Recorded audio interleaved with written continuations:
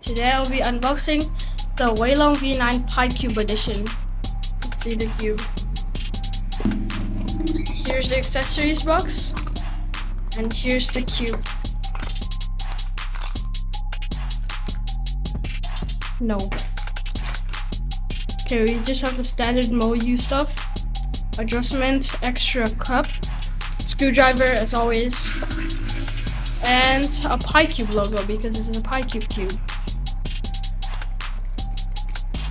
Oh.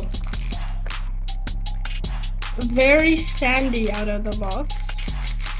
New no factory lube, and I quite enjoy that.